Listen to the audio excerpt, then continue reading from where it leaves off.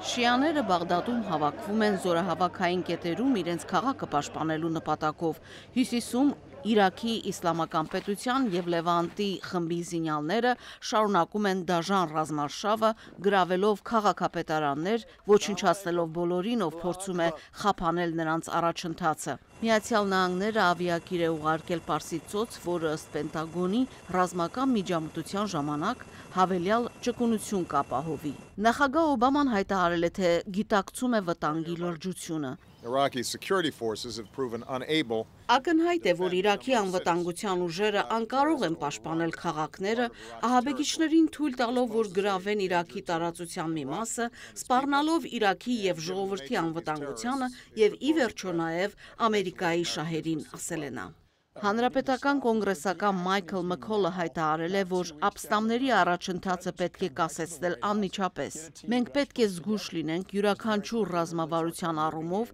իսկ դիվանագիտական առումով անհրաժեշտ է շիաներին, սյունիներին եւ քրդերին միավորել ընդդեմ ծայրահեղականների, ասել է նա։ Հանրապետական սենատոր Լինսի Գրեհամը հայտարարել է, որ Միացյալ Նահանգները ճգնաժամի շուրջ պետք է բանակցի Իրաքի հարևանների Իրանի հետ։ Սպիտակ տունը հայտարարել հայտարարել է, որ քննարկում է գործողության մի քանի տարբերակներ։ Իրաքին օգնելու որևէ գործողություն պետք է պայմանավորված լինի հատվածախմբային կռիվներին վերջ դնելու Իրաքի ղեկավարների լուրջ ջանքերով։ Առանց նման քաղաքական ջանքերի մեր օգնությունը հաջողություն չի ունենա, ասել է Օբաման։ Իսկ մինչ այդ Իրաքի հատվածախմբային կռիվները կշարունակեն նոր արյունահեղությունների եւ քաոսի պատճառ դառնալ Իրաքում։ Արաքսիվան Ամերիկայի ձայն Վաշինգտոնից